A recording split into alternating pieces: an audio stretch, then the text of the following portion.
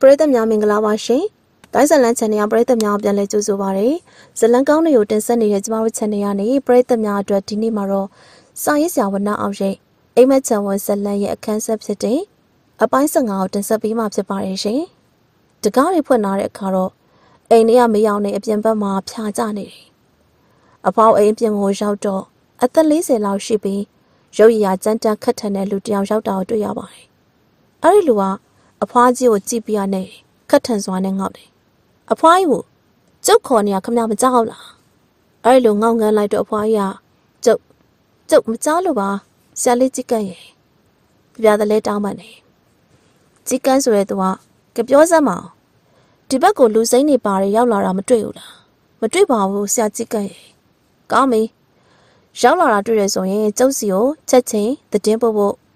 မမိတ်နဲ့ဟုတ်ပြီလားဟုတ်ဟုတ်ကဲ့ပါ ဟုတ်ကဲ့ပါဆရာကြီးကอืมတို့ရဲ့သားနဲ့တည်င်းမပို့ပဲနေမယ်ဆိုရင်တော့ခမဒုက္ခရောက်မယ်ဆိုတာမှတ်ထားပါစကားဆုံးတာနဲ့ကြီးကန်းဆိုတဲ့သူလှည့်ထွက်သွားတယ်အဖိုးကတော့ကြီးကန်းမြင်ကွဲရပျောက်ကွယ်သွားတဲ့အတိုင်းအတန်းကြားရက်ဆောင်နေပြီးတော့မှသဘောကျစွာပြုံးနေရတဲ့အိမ်လေးကိုလှမ်းဝင်သွားပါတယ်ကြီးကန်းထွက်သွားပါပြီအဖွားအုံနဲ့ကြီးကန်းတို့ပြောဆိုနေကြတဲ့စကားတွေကိုတော့ကျင်းရှံအတိုင်းသားကြားနေရတယ်သူကိုတော့ရွှေ့စွာလူတွေက တဲကြီးမဲကြီးလိုက်ရှာနေကြတယ်အခုတော့ဖွားဟုတ်ကလိန်ညာပြီးတော့ပြောလိုက်တဲ့အတွက်ကြီးကန်းထွက်သွားပြီအဖွားကိုတော့ဂျေစုတရားမလို့ပဲအဖွားကတကောက်ပိတ်လိုက်တယ်ကဲထွက်လာပြီးတော့အတန်ပြုတ်လိုက်တယ်ကျင်းရှံမဝဲမရဲထွက်လာပါတယ်ကဲမင်းကြားတဲ့တားမယ်နော်သူတို့လက်ထဲမင်းကငါမအပ်တော့ဒါပေမဲ့ယဒနာတိုက်ရှိတဲ့နေရာမင်းကပြောပါမယ်ယဒနာတိုက်ကိုပြောပြလိုက်မယ်ဆိုရင်တော့ ကြားကူတွေကိုဝင်ရတာနဲ့အတူတူဖြစ်ပါလိမ့်မယ်ရိုးစွာနဲ့ဝေးတဲ့နေရာကိုပြည့်ရဲ့နေရာမှာတော့ရိုးစွာရဲ့ဘူမိနဲ့တန်နေရာကိုပြန်သွားရမယ့်အဖြစ်ကတော့ကျင်ရှန်လက်မခံနိုင်ဘူးကျွန်တော်ကိုယ်တိုင်တော့လည်းမပို့နိုင်ပါဘူးခင်ဗျာ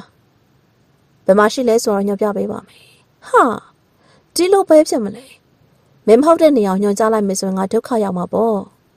ကျွန်တော်အမှန်တကယ်ညွှန်ကြားပေးပါမယ်မင်းကငါမယုံဘူးအဖေါကခက်ခါတည်တည်ညင်းဆန်တော့ကျင်းရှန် ခေါင်းကုပ်လိုက်မိတယ်ငါဘယ်လိုလုပ်ရမလဲသူတယောက်တည်းစိတ်ထဲကညှိတွားမိတယ်အဖွားကမင်းကိုယ်တိုင်ငါ့ကိုလိုက်ပြရမယ်အချက်ကင်နေကျင်းရှန်တပ်ပြင်းချတယ်ဝမ်းနေပါတယ်ကျွန်တော်လိုက်မပို့နိုင်ဘူးခင်ဗျာဘာပြောတယ်ဗမာရှိတယ်လဲဆိုတာညွှန်ပြပါမယ်ကျွန်တော်လိုက်မပြနိုင်ပါဘူးအော်မင်းကအဲ့လိုလားအဖွားကိုကျမ်းပြင်ပေါ်ဒေါသတကြီးချိဆောင်လိုက်တယ်မင်းဒုက္ခရောက်ချင်ပေနဲ့တူရဲ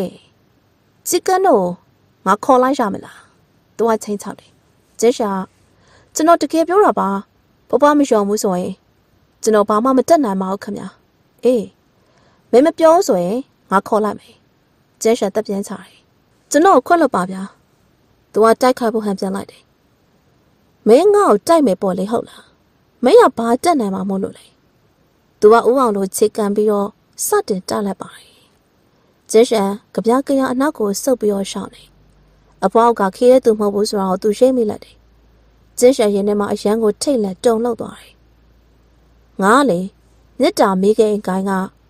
ညကိုင်းမှာအလုံးလောက်ခဲ့ပို့တယ်။အဲ့တော့မင်းမသိဘူးလား။အော်ခမလည်းလူဆိုးတယောက်ပဲကို။တိတ်မှန်တာပေါ့။မြစ်တာမေးကိန်းကိုဖျက်သိမ်းလိုက်တော့ငါဒီမှာလာပြီးပုံနေရတယ်လေ။ငါကြောင့်ဘသူကသိမှလဲ။ကျင်းရှယ်တော်တော်ကိုစိတ်တက်ကြသွားတယ်။အဖွားကိုလက်ကနေလွတ်မြောက်ဖို့ မလွယ်ကြောင်းလဲသူရှိမိလိုက်တယ်။အဖွားကမင်းပြောတဲ့ယတနာတိုင်းဆိုတာညကိုင်းကလူရက်တိုက်ခါလို့ရှားသမျှပစ္စည်းတွေဖွက်ထားနေအောင်ပြောရမလား။အဲ့ဒါငါရှိမိတယ်။ကဲဗမာလေးပြောစမ်း။ तू ကအဲ့ဒီလိုပြောလိုက်ပါတယ်။ကျင်းရှန်ကတော့ကြောက်ကိုတခုထဲမှာရှိပါတယ်။ကြောက်ကိုအဖေါ်မျက်မှောက်ကျုပ်ပြီးစဉ်းစားတယ်။မင်းပြောတာ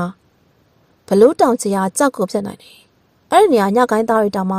လူတိုင်းသွားခွင့်ရှိတဲ့နေရာမဟုတ်ဘူးအဲ့တော့ကျင်းရှင်ကတစ်ချက်ကောင်းနေလိုက်တယ်ဖဖသိရဆိုရင်တော့တိတ်ကောင်းတာပေါ့ဗျာကျွန်တော်ပြောပြပေးပြီကျွန်တော်သွားတော့မယ်ဟေးရှက်လိုက်စမ်းသူ့ရဲ့ခြေလမ်းတွေကတော့အဖွားကြီးဟန်တာလိုက်တာကြောင့်တုံကနေရက်သွားပါတယ်ကျွန်တော်ပြောပြပြီးမင်းစကားမရှိနဲ့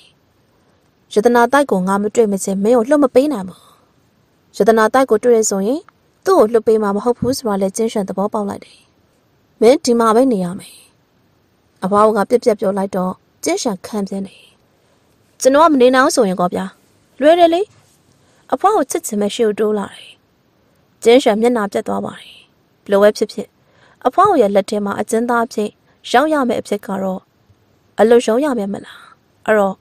ဝုန်းကနေကျင်းလောင်နဲ့အော်မြင့်တဲ့အတူအိမ်တကားပွင့်သွားတယ်လူရဲ့တခုလက်တစ်ပြက်ခုံဝင်ပြီးတော့အဖွားကိုကြိုက်ခံလိုက်ပါတော့တယ်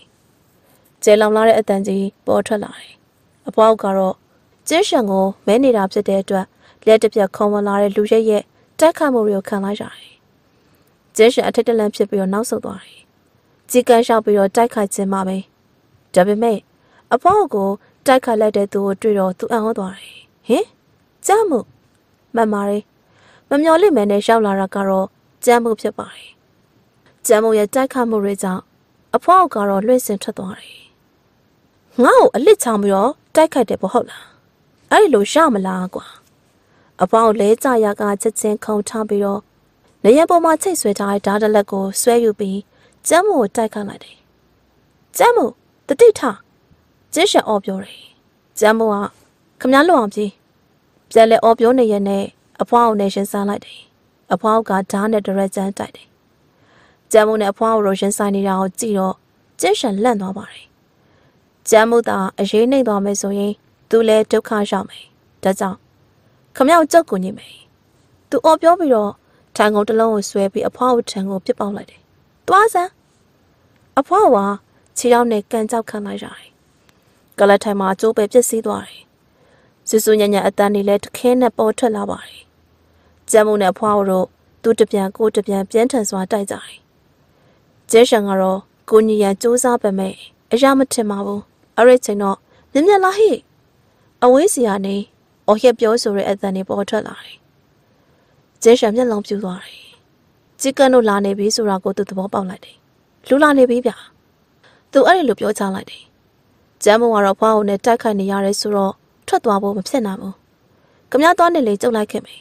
။ကျင်းရှန်ထွက်မသွားပါဘူး။ခမရမသွားသေးဘူးလား။တော်နေကြနှစ်ယောက်စလောက်ဒုက္ခရောက်မယ်။သွားနေကြုတ်လိုက်ခဲ့မယ်။ဗျာ။ သွားနေကြုတ်လိုက်ခဲ့မယ်။ကျင်းရှန်ကတော့ကျမ်းမရဲ့စကားကိုယုံကြည်သွားတယ်။အဖွားကိုအနိုင်မတိုက်နိုင်တဲ့အတွက်ကိုလွတ်ပြီးတော့ရုံထွက်လို့ပြေးနိုင်မယ်မထင်ဘူး။ကောင်းပြီကျုပ်သွားနေမယ်။ချက်ချင်းပဲအနောက်ဘက်ကိုပြေးထွက်ပြီးတော့အနောက်ဘက်တကောင်ကိုတွန်းဖွင့်လို့အမောင်ရိတ်ထဲပြေးဝင်သွားတယ်။ကျဲရှန်ကတော့အမောင်ထဲကိုတဟုန်ထိုးပြေးလွှားလာတယ်။တတော်ဝေးဝေးကိုရောက်တော့မှကျမ်းမုံလိုက်လာခြင်းမရှိကြောင်းတတိထားမိတယ်။ဒါကြောင့် ခြေလောက်ရက်ပြီးတော့နောက်ပြန်လှည့်ကြည့်လိုက်တယ်။အဖွားရဲ့အင်္ဂလိပ်ကတော်တော်ဝေးဝေးရနေကြံခဲ့ပါတယ်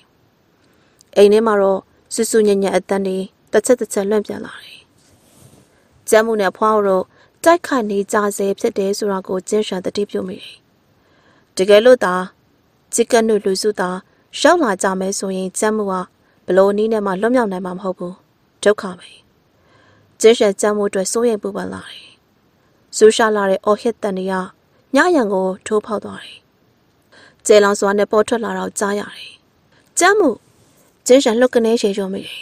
။သူကြားလိုက်ရတဲ့အတန်ကတော့ကျမ်းမှုရဲ့အတန်ကျမ်းမှုဒုက္ခရောက်ပြီဆိုတော့သူတေးသေးချာချာနားလည်လိုက်တယ်။ကျင်းရှာခံပြင်းဒေါသထွက်လွန်လို့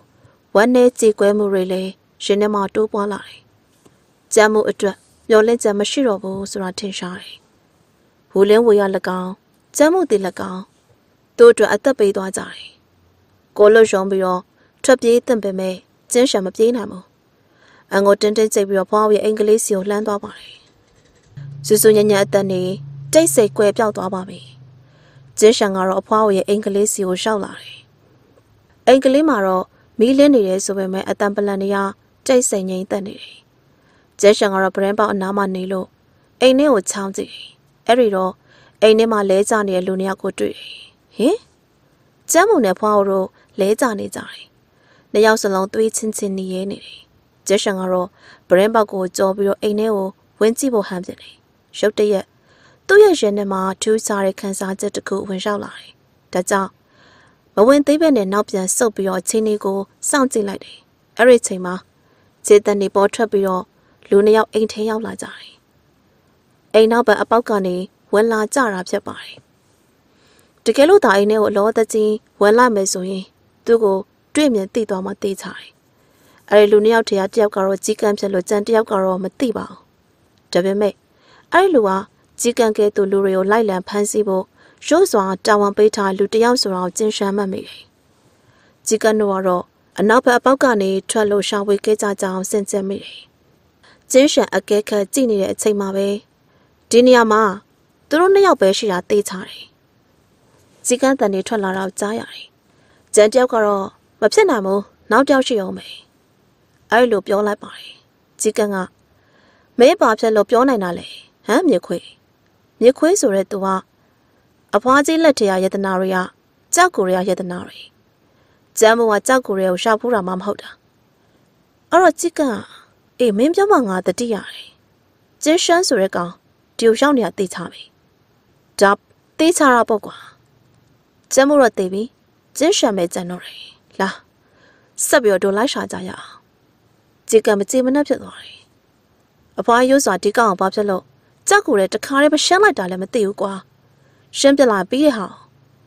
အခုတော့ဒီကောင်ခြေဦးတရားရှောက်ပြေးနေပြီခတ်ပါလားကွာဒီကောင်မှာအပေါင်းအသင်းနေမရှိဘူးလို့ပြောနိုင်လို့လားသူနဲ့တူတူတခြားဘသူတွေရှိသေးလဲဆိုတာကိုသိစင်လို့တင်မလွတ်တာပေါ့ကွာ အခုတော့တို့ဒုက္ခပေးဖို့ပုံနေကြမ်းဖို့ဖော်ထုတ်နိုင်မယ်လေဟုတ်တယ်မလားကြီးကန်တက်ပြန်ချလိုက်တယ်อืมဒါလည်းဟုတ်တာပဲကျင်းရှင်နဲ့ပတ်သက်ပြီးတော့မင်းဘယ်လိုသဘောရလဲ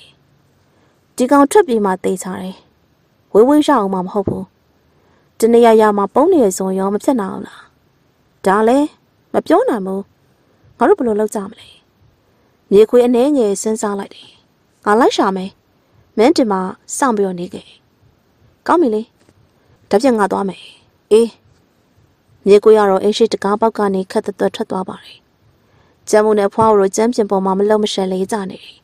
ជីကန်ကတော့အဖွားကိုရဲ့အလောင်းကိုခြေထောက်နဲ့တစ်ချက်ကန်ကြောင်းလိုက်တယ်အလက်ကားအတုံးမကြတဲ့ဖွားကြီးသူကျိန်ဆဲလိုက်တယ်အဲ့ဒီနောက်မှာတော့အမောင်ရိတ်ကြနေတဲ့အခန်းတောင်တနေရာမှာသွားထန်လိုက်တယ်ကျင်းရှင်ကတော့ဗရင်းပေါက်တကားကြကနေချောင်းကျင်နေတာကအတိုင်းသားတွေ့ရတယ် ငါဘာဖြစ်လို့ဒီမှာအချိန်ဖြုံးနေရလဲထွက်သွားဖို့ကောင်းပြီအဲ့လိုကိုကိုကိုတတိပေးလိုက်ပါတယ်ငါတရေဘောကြောင်တဲ့လူတယောက်ပဲကိုကိုကိုအပြစ်တင်လိုက်မိတယ်ကျမ်းမှုနဲ့ဖွာကြီးတိုက်ခတ်နေတော့ငါတာဝန်ပြီးကုညီရဲဆိုရင်တော့ကျမ်းမှုသိသွားစရာအကြောင်းမရှိဘူးအခုတော့ငါ့ကိုဝင်ခဲ့တဲ့ကျမ်းမှုကိုပြစ်ပြီးတော့ထွက်ပြေးမိလို့သူသိရတာကျင်းရှာခံပြင်းနေ ပြင်းနေအောင်တသက်နဲ့လွတ်မြောက်မှာမဟုတ်ဘူးဆိုတာလည်းသူစင်ကြင်မိတယ်အိမ်မက်ချံဝင်းရဲ့ပိုင်တဲ့နေမြေထဲမှာကိုညီမဲ့သူတွေထက်ဒုက္ခပေးမဲ့သူတွေပို့ပြီးတော့များတယ်မလားတကယ်လို့ကိုညီမဲ့သူရှိရဆိုရင်ရိုးစွာတို့လူစုရရက်ဆက်ဆက်တုတ်တင်ရှင်းလင်းပြကြမှာဖြစ်ပါတယ်ဘဘကျူတို့ရွာလေးမိလောင်တိုက်သွင်းခံရတယ်ဒါသင်ခန်းစာကြည့်ရှံအကျိတ်လိုက်တယ်ရိုးစွာတို့လူစုကိုချိန်မုံတုတ်တင်နိုင်မှငါလွတ်မြောက်နိုင်မှာ ဟိုလင်းဝေနဲ့ကျမ်းမှုတို့ဝိညာဉ်တွေကလည်းကလစ်စာခြေကျင်ကြမှာပဲသူတို့တွေအတွက်ကလစ်စာချိန်နိုင်မှာငါတောင်းဝင်စီမှာသူတို့နေရာမှာဝလင်းဝေးရှိမယ်ဆိုရင်တော့ဒီအတိုင်းပဲဆုံးဖြတ်မှာပဲတိုးတော်ယုံနေကျဲရန်တွေးတောနေတော့ကြီးကပ်နေရအမောင်ရဲ့ထေရနေထွက်လာတော့သူတွေးလိုက်တယ်အိမ်ရှိတကားပေါက်ကိုသွားရက်ပြီးတော့အပြင်ဘက်ကိုမျှောကြည့်လိုက်တယ်အိမ်နဲ့ထိုင်ဆောင်လာပြင်းစရာကောင်းလိုက်တာကွာအပြင်ထွက်ပြီးတော့လိုက်ရှာတာကမှကောင်းအောင်မယ် အဲ့ဒီလိုရေးရွတ်နေတယ်ကျဲရန်ကတော့ကြီးကန်းကိုကြည့်ရင်လည်းဒေါသဖြစ်လာတယ်ငါသူ့ကိုဆုံးမရမယ်ကြီးကန်းကရုပ်စွာရဲ့လက်ရောင်းတစုဖြစ်တဲ့အပြင်တန်းပညာလည်းခေမမဟုတ်ဘူးမေသိနီးနဲ့မှရင်ဆိုင်တိုက်ခိုက်နိုင်မှာမဟုတ်ဘူးအဲ့ဒါကြောင့်ရင်ဆိုင်နိုင်မဲ့နီးလောက်သူစဉ်းစားတယ်အတန်ကြတော့အကြံတစ်ခုရတယ်ဝလေးဝဲလောက်ကင်တက်တဲ့အကြံစီမျိုးပါပဲကျဲရှင်ကတော့အဲ့ဒီအကြံတိုင်းအကောင့်ထဲပေါ်ဖို့အတွက်ဆုံးဖြတ်လိုက်တယ် ညလည်းနှက်ပြီးအဝေးကနေပိုးကောင်မွားကောင်လေးတွေရဲ့အော်မီတဲ့တန်ကလွဲလို့ပတ်ဝန်းကျင်တစ်ခုလုံးတိတ်တဆိတ်အေးချမ်းနေပါတယ်ငြိမ်သက်နေတယ်။ကြီးကန်ကတော့အိမ်တကားပေါက်မှာရက်နေတဲ့သူကအိမ်ထဲကိုပြန်ဝင်မှုဟန်ပြန်လိုက်တယ်။အဲ့ဒီအချိန်မှာတော့ခက်လက်လက်ကနေတစုံတရာလာပြီးကြတဲ့အတန်ကိုကြားတယ်။ကြီးကန်မျက်မှောက်ကျုပ်သွားတယ်။ဘာတမ်းမလဲ။မျက်မှောက်ကျုပ်ပြီးတော့စူးစိုက်ကြည့်လိုက်တယ်ဆိုပေမဲ့ဘာကူမှမတွေ့ဘူး။ကြီးကန် ကောင်းကိုရမ်းလိုက်တယ်။ဒါငါနားကြားလွဲတာများလား။သူရဲ့အတွင်းမဆုံးခင်မှာတော့တောက်ကနေနောက်ထပ်အတန်တစ်ချက်ထွက်လာပါတယ်။ကြီးကန်းကခေါင်းထောင်လာတယ်နားကြလွဲခြင်းမဟုတ်ပဲနဲ့အသေးချာကြားလိုက်ရတယ်ဆိုတော့ထင်ရှားတယ်အတန်ပြောက်သွားတယ်ဆိုပေမဲ့လှုပ်ရှားတဲ့အရေးရန်ကိုတော့မတွေ့ပါဘူးကြီးကန်းကတော့နေခွေးလားလှမ်းမေးတယ်ဒါပေမဲ့အမောင်ရိတ်ထဲကတော့ဘလို့အတန်ပလန်းမှမကြားရဘူးကြီးကန်းမကြည့်မနှက်ဖြစ်တယ် တိကျသိရပေါ့ကွာသူကြောင်းဝနေရနဲ့အတန်ထွက်ပေါ်လာရစီကိုတဟုန်ထိုးပြေးတယ်သူရဲ့လက်တစ်ဖက်ကရှင်ဝကိုအကာအကွယ်ပြုထားရင်းနဲ့ကျန်တဲ့လက်တစ်ဖက်ကကြိုက်ခိုက်ဖို့အသင့်ပြန်ထားတယ်အမောင်ရိတ်ထဲမှာတော့ရန်သူတွေရှိနေတယ်ဆိုရင်စီးကြိုတိုက်ခိုက်နိုင်မယ်ဆိုတာကြိုတင်ကောက်ွယ်ယူထားရတဲ့သဘောဘလို့ပဲဖြစ်ဖြစ်ရန်သူနဲ့ရင်ဆိုင်မယ်ဆိုရင်တော့လက်ဦးအောင်လို့တိုက်ခိုက်ဖို့ဆုံးဖြတ်ထားတယ်။ជីကန်ကသူထင်မှတ်ထားသလိုမဖြစ်လာတော့ အမောင်ရိတ်ထဲရောက်သွားတယ်ဆိုပေမဲ့တိုင်းသမားအသိရန်သူမရှိကြောင်သိလိုက်တယ်။အသက်ကိုအောင်လို့ရန်သူတွေကိုရှာဖွေပြီးတော့အနီးပတ်ဝန်းကျင်မှာဘသူမှရှိမနေတာကိုသိရတယ်။ငါလာတွေ့တာကိုထွက်သွားပြီနဲ့တူတယ်။သူအဲ့ဒီလိုရေးရွတ်တယ်။ကျေလောင်လာတဲ့ရှင်မောတန်တစ်ချက်အိမ်လေးထရထွက်လာတော့ကြားရပါတယ်။ကျေလောင်တဲ့ရှင်မောတန်ကတော့ညစ်ရန်ကိုထိုးထွင်းထွက်ပေါ်လာတယ်။ရုတ်တရက်ဆိုတော့ ဂျီကန်ရဲ့ခန္ဓာကိုယ်စက္ကနေတုံသွားတယ်။ဒါပေမဲ့အော်မရအိမ်ထဲရောက်နေတာကိုငါ့ကိုဒီလိုစမ်းလို့မရဘူးဆိုတာမင်းသိရမယ်။ကျိန်းဝါလိုက်တယ်။အဲ့ဒီနောက်အိမ်လေးစီကိုတရှိန်ထိုးပြေးလွှားထွက်သွားပါတယ်။ရေတံတွေပျောက်သွားတယ်။ဂျီကန်ကအိမ်ထဲကိုလက်ကနေဝင်လာတယ်။မင်းရောက်နေရဖြားကျနေပြီးတော့အိမ်ထဲမှာလင်းလင်းချင်းချင်းတွေ့မြင်နေရတယ်။ဂျီကန်ကအိမ်ထဲရောက်တာနဲ့တိုက်ခတ်ဖို့ရန်သူတွေကိုရှာတယ် အိမ်ထဲမှာရန်သူရဲ့အရေးရန်ကိုမှမတွေ့ပါဘူး။ជីကန်ကအရန်ဒေါသဖြစ်တယ်။ဟိုက်ကပေါင်းမနေနဲ့ကွာ။တက်တရှင်ထွက်လာခဲ့။အော်ငေါက်လိုက်ပါတယ်။သူရဲ့အတန်ကျဲလောင်စွာနဲ့ထွက်လာတယ်။တုံးပြန်တန်ထွက်ပေါ်လာခြင်းအလင်းမရှိပါဘူး။ជីကန်ပိုးပြီးတော့ဒေါသထွက်တယ်။မင်းထွက်မသွားသေးဘူးလား။ပုံးနေလို့ငါလက်ထရလွတ်မယ်လို့ထင်လား။ကျမ်းပြန်ကိုခြေဆောင်ပြီးတော့အိမ်နောက်ဘက်ကိုဝင်သွားဖို့ဟန်ပြန်လိုက်တယ်။ အဲ့ဒီမှာတော့ကျမ်းပြန်ဘဝလဲကျနေတဲ့ကျမ်းမှုရဲ့အလောင်းရုပ်ချီခုန်ထလာတယ်။ជីကန်လန့်သွားပါတယ်။ကျမ်းဘဝတေဆုံးနေပြီဖြစ်တော့မေတီနီနဲ့မှခုန်ထလာနိုင်မှာမဟုတ်ဘူး။တေဆုံးနေတဲ့အလောင်းကောင်ကြီးခုန်ထလာတာကဘလို့မှမျောလင့်မထားတဲ့ကိစ္စ။ជីကန်ကတော့ကြောင်ဝမ်းဖြစ်ပြီးရတဲ့တတိဝင်လာပြီးတော့လက်ဝါးနဲ့ရိုက်ထုတ်လိုက်တယ်။ဝုန်းကနေကျေလောင်နဲ့အတန်ထွက်လာတယ်။ကျမ်းမှုရဲ့အလောင်းကြီးကတော့ လက်ဝါးရိုက်ချက်ကြောင်အဝေးကိုလွှင့်သွားပါတယ်။အဲ့ဒီမှာတော့အလောင်းကောင်ကြီးခုန်ထလာတယ်။အဲ့လိုခုန်ထလာတဲ့အဖြစ်ကိုတွေ့လိုက်ရတယ်။အလောင်းကောင်ကြီးရဲ့နောက်မှာတော့ကျင်းရှန်ရှိနေတာပဲဖြစ်ပါတယ်။ကျင်းရှန်ကတော့ကြောက်ခဲလေးတွေနဲ့အတန်ပြုတ်ပြီး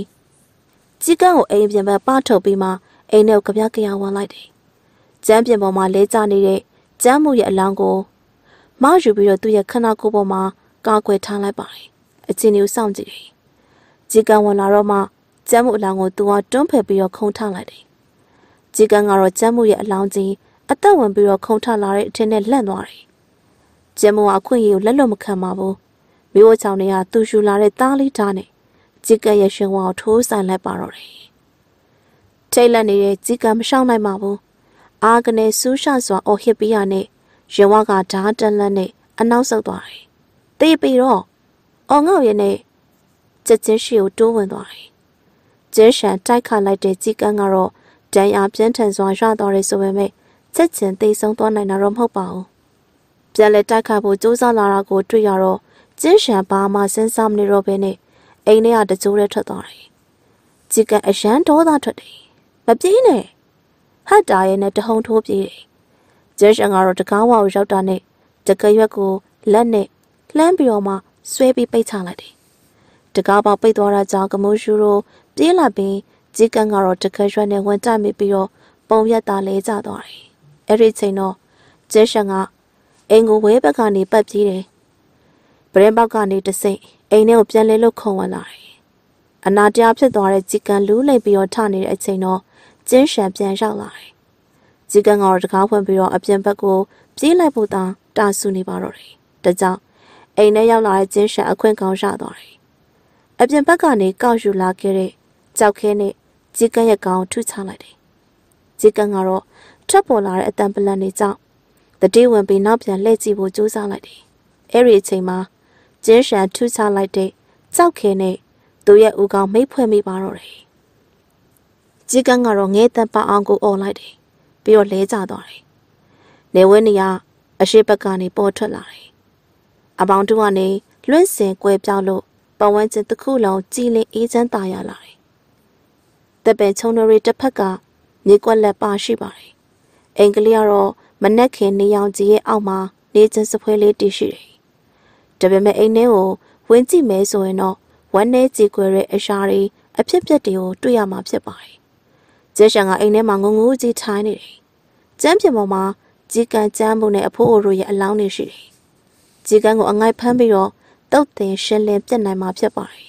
။သူ့ရဲ့အောင်ပွဲပါပဲ။ကြီးကန်အသက်ဆုံးရှုံးသွားတယ်။သူဝမ်းမနေဘူး။ကြီးကန်သူ့ကိုတက်ပြစ်မဲ့သူပါပဲ။အခုလိုထားပြီးတော့ငိုင်းနေတာသူ့အတွက်အသက်ပေးသွားတဲ့ဝူလင်းဝေနဲ့ကြက်မှုတို့အတွက်သူစိတ်မကောင်းဖြစ်တယ်။အိမ်မက်ချံဝပိုင်တဲ့နေမြေကတော့ကျဲဝန်းလာတယ်။ရိုးစွာရဲ့ဩဇာအခုရတိမကုံသေးဘူး။အကျိုးသက်ရောက်မှုတွေရှိတယ်။ထွက်ပြေးဖို့စ조사နေလို့လည်းအကြောင်းထူးမှာမဟုတ်တာ။ ရိုးစွာတို့လူစုကိုတုတ်တင်ရှင်းလင်းနိုင်မှတာလင်းအန်တီယာပေါင်းကလွတ်မြောက်လာတယ်။ဝလင်ဝေးတို့အတွက်သွေးကြွေးဆက်နိုင်မှာဖြစ်ပါတယ်။သူရဲ့သားပညာဟုတ်တိပတ်တိလည်းရှိတာမဟုတ်ဘူး။ဒါပေမဲ့ညံကိုလွှာပြီးတော့အသုံးပြုနိုင်မယ်ဆိုရင်တော့ရင်ဆိုင်နိုင်ပါလိမ့်မယ်။ကြီးကန်းကိုအနိုင်ရတယ်ဆိုတာကတက်သေးခဏရမလား။ကျင်းရှန်ကတော့အဖွားရဲ့အိမ်လေးကိုဗဟိုပြုလို့ရိုးစွာတို့ကိုစုံမဖို့အတွက်ရင်ဆိုင်မှုဆုံးဖြတ်လိုက်တယ်။ အဲ့ဒီနောက်တော့ရင်ဆိုင်ရမယ့်နည်းလမ်းတွေကိုသူတွေးတောစဉ်းစားတယ်။အဲ့ဒီမှာတော့တစ်ချိန်တည်းဝူလင်ဝေးနဲ့အတူတူသွာလာနေထိုင်ခဲ့တော့ကအဖြစ်ပြက်တွေကိုသူပြန်ပြောင်းအမှတ်ရတယ်။နေဝင်းနေရတော့တစားတစားမြင့်တက်လာတယ်မနက်စာစားတဲ့ချိန်ကိုရောက်တော့ခြေတနေနဲ့အတူတောက်ထရာလူတယောက်ထွက်လာပါတယ်။ကြီးကနဲ့လမ်းခွဲသွားခဲ့တဲ့မြေခွေးပါပဲ။မြေခွေးကတော့ဖွားအိုရဲ့အိမ်လေးစီကိုခတ်သွက်လန်းသွားတယ်။ကျင်းရှက်တညလုံး လိုက်ပါသွားလဲမတွေ့ဘူး။မြေခွေးအိမ်ကလေးနဲ့တစားတစားနေလာတယ်။ကြီးက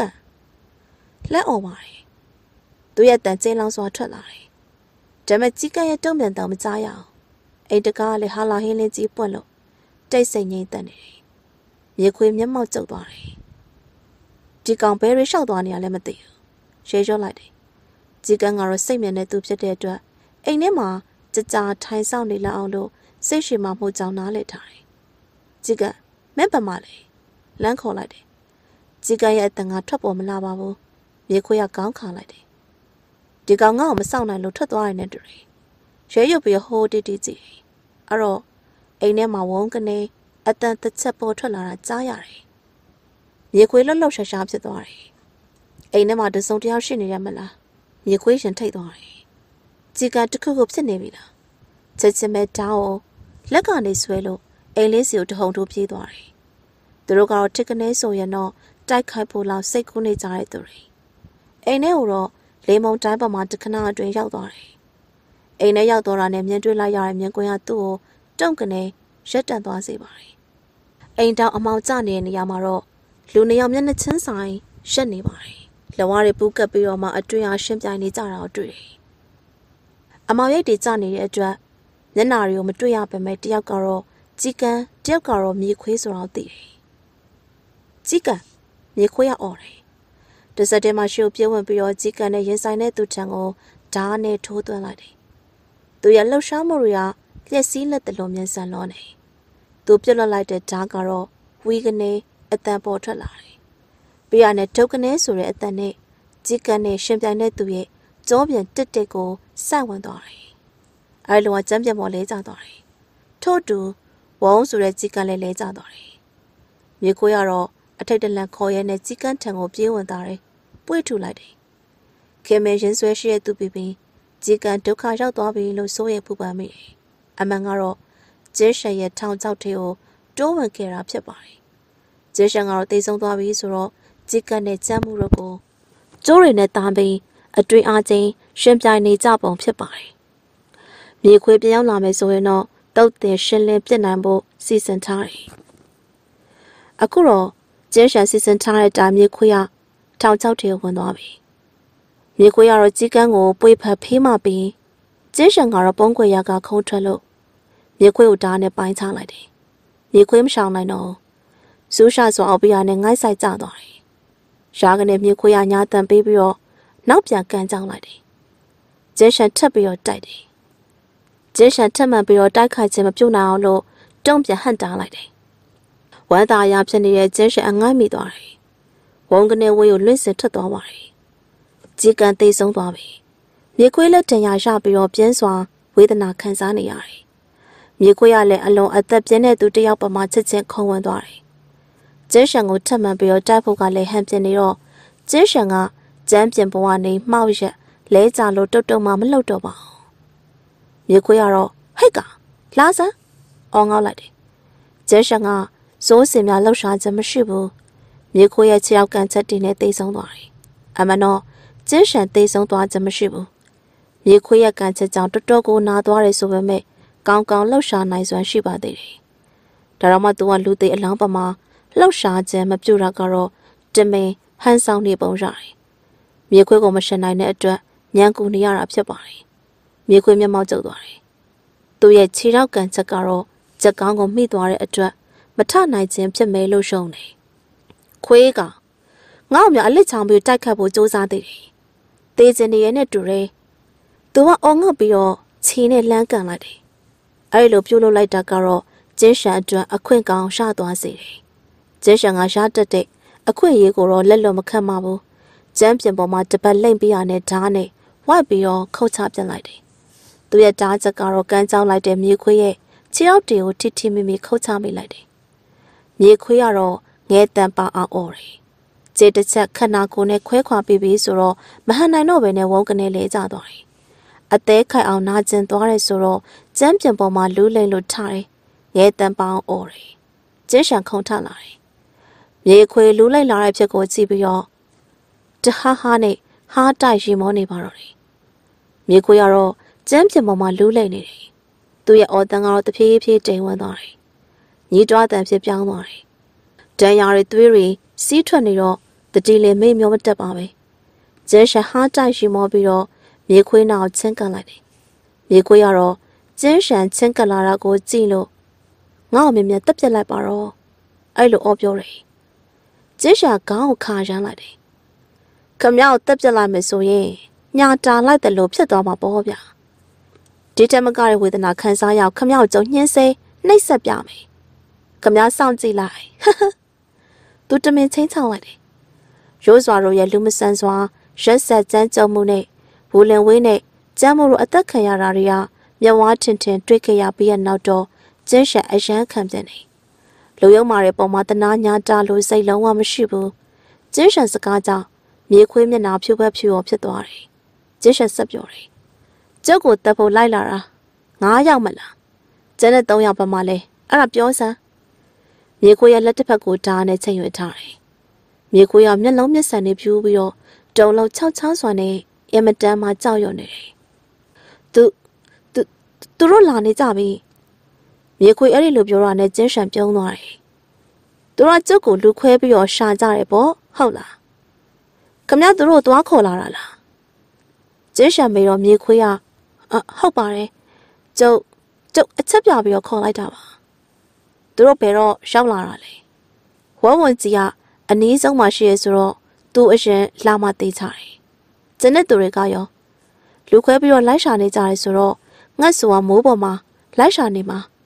ကျက်တဲ့ဘယ်နေရာလောက်ရှောက်နေတယ်လဲဆိုတော့ကျုပ်ကျုပ်မသိဘူးကျင်းရှက်အနေငယ်စဉ်းစားလိုက်တယ်ရိုးစွာပမာလဲအဲ့လိုမေးလိုက်တော့မြေခွေးပါဆက်ပိတ်သွားပါတယ် အဖြစ်မပေးပါဘူးခမမပြောဘူးဆိုရင်သေသွားမယ်နော်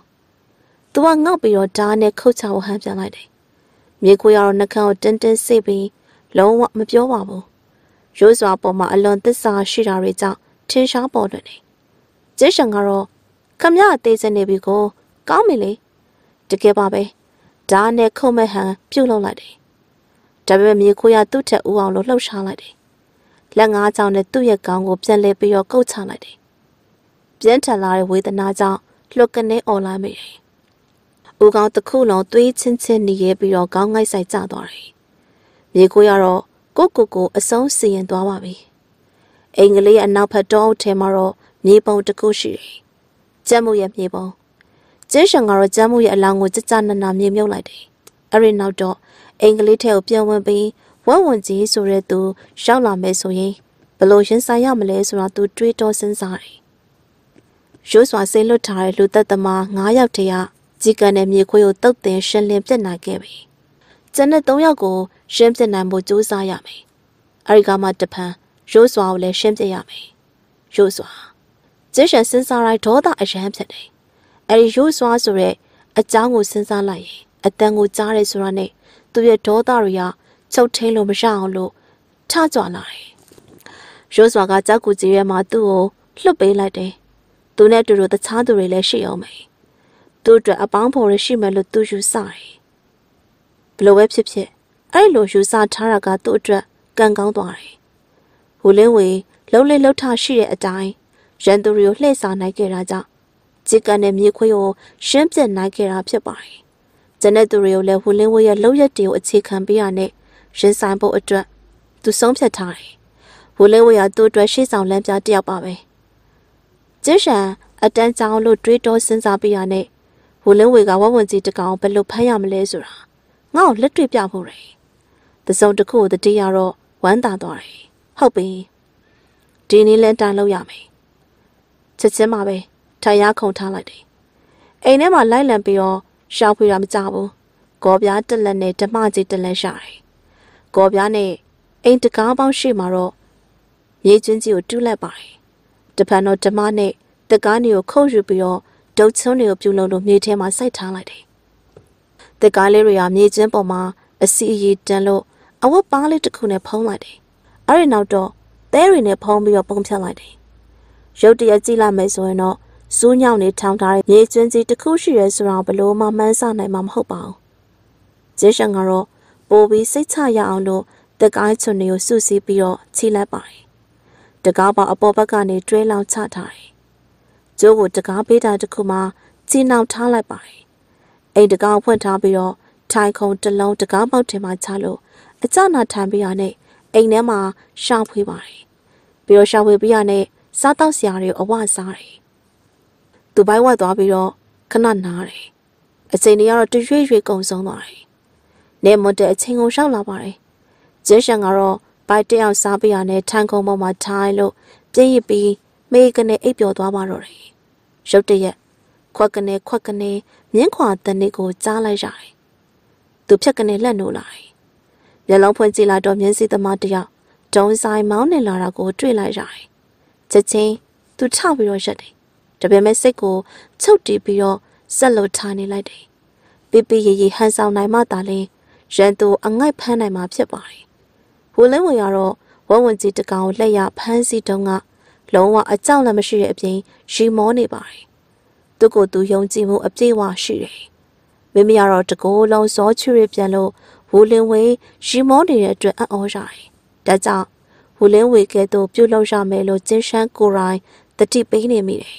။ပရိသတ်များရှင်အခုပရိသတ်များကိုတင်ဆက်ပေးခဲ့တာကတော့စာရေးဆရာဝနအောင်ရဲ့ အိမ်မက်ချံဝန်ဇလန်ရဲ့အခန်းဆက်ဖြစ်တဲ့အပိုင်း15ဖြစ်ပါရဲ့ရှင်။ကျမတို့ channel ရပရိသတ်များအတွက်ဇလန်ကောင်းများကိုနေ့စဉ်တင်ဆက်ပေးနေပါတယ်။အားပေးနားဆင်ကြတဲ့ပရိသတ်များကျေးဇူးတင်ပါတယ်ရှင်။